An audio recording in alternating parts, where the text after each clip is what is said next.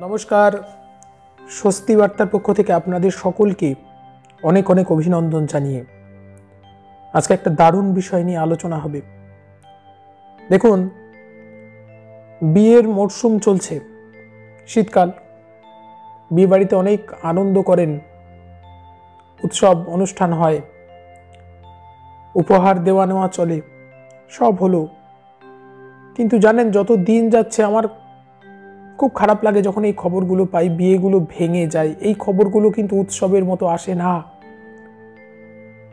বিয়ে হতে না হতেই কদিন, কিছু মাস যেতে না যেতেই ডিভোর্স ডিভোর্স ডিভোর্স আজ থেকে দশ পনেরো বছর আগেও এই ডিভোর্স নামক শব্দটা এত স্বাভাবিক ছিল না। এই বিচ্ছেদটাকে লজ্জার মনে করা হতো। আর এখন তো ফ্যাশন হয়ে দাঁড়িয়েছে। কোনো ব্যাপারই নয়। তো আমার তো ভয় লাগে আগামীতে পরিবার নামক কনসেপ্টটাই হয়তো থাকবে না। তো আজকে আলোচ্য বিষয় যে বিয়ের পরই ডিভোর্স নয়। আমি দেখেছি বিয়ে হতে না হতেই ছ সাত মাস হয়নি, এক বছর হয়নি, এখনই ছাড়াছাড়ির চিন্তা ভাবনা করছেন। প্রথমেই বলব হ্যাঁ পরিস্থিতির একটা ব্যাপার আছে সব সময় জীবনের জন্য সব কিছু যেখানে জীবন লাঞ্ছিত হয় সেখান থেকে জীবন রক্ষার্থে বেরিয়ে আসতে হয় এটা নীতি, কিন্তু মনে রাখতে হবে, ধৈর্য রাখতে হবে। চেষ্টা করতে হয় তো প্রথমে। আমি অনেক মেয়েকে দেখেছি, বিয়ে হয়েছে চার মাসের মাথায় ডিভোর্স হয়ে গেল। কারণ কি?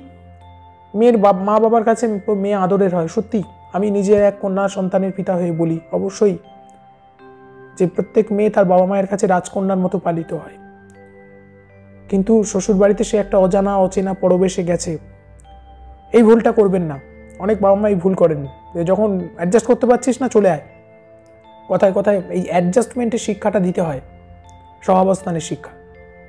আবার কোনো কোনো ছেলের বাড়ির লোক, শ্বশুর শাশুড়ি যারা হয়েছেন, তাদেরকেও বলব, একটা মেয়ে তার সম্পূর্ণ ছোটোবেলা থেকে যাদের সঙ্গে থেকেছে, যে পরিবেশ থেকে পোষণ পেয়েছে, সবটা ছেড়ে তার নিজের বলতে জন্ম থেকে যা যা জেনেছিল যেটা আমার বাবা, এটা আমার মা, এটা আমার আত্মীয় পরিজন, নিজের যা যা ছিল সব ছেড়ে আপনার পরিবারে এসেছে। তাকে তো সময় দিতে হবে। গাভীকে না খাই খাইয়ে শুধু দোয়াতে চাইলে সেই গাভী বাঁচে না কিন্তু। আগে তাকে খাওয়ান, আগে তাকে সময় দিন, শেখান। বাবা মায়েরা একটা ভুল করেন। বিবাহের পরেই বৌমা কেন রান্না করল না? বৌমা কেন বাড়ির এই কাজটা করল না? বৌমা কেন অমুককে মাথা হেট করে প্রণাম প্রণাম করল না? এটা করল না, সেটা করল না? বৌমা এত কিছু নায়ের লিস্ট ধরান আপনি তার জন্য কি করেছেন? এই জগতের তো নিয়ম।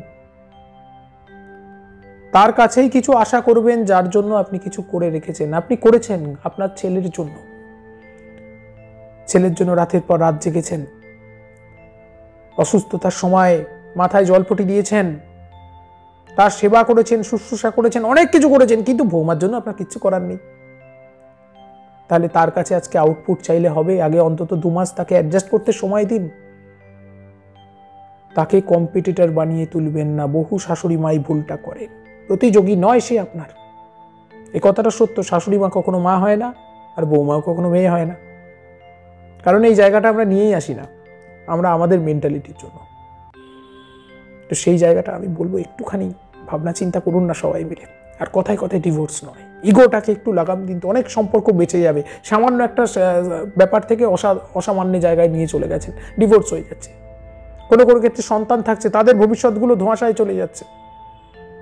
একটু জেদ রাগটাকে একটু কন্ট্রোল করুন। সবাই একটু, দেখুন, একজন চাইলে হবে না, সবাইকে চাইতে হবে। বিয়েটাকে ছেলে খেলা ভাববেন না, প্রকৃতির বিচার কিন্তু ক্ষমা করবে না। ভালো থাকুন সকলে, আজকে এখানে শেষ করছি। আবারও আলোচনা হবে সঙ্গে থাকুন, স্বস্তি বার্তার সঙ্গে থাকুন, অনেক অনেক ভালো থাকুন।